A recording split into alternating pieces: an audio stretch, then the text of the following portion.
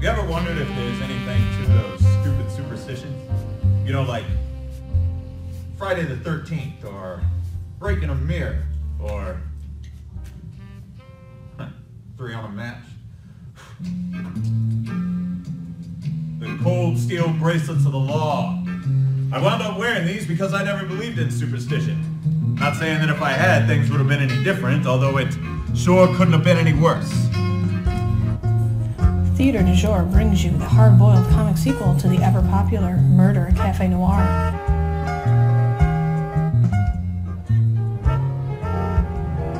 A tribute to Casablanca with many references to the classic film.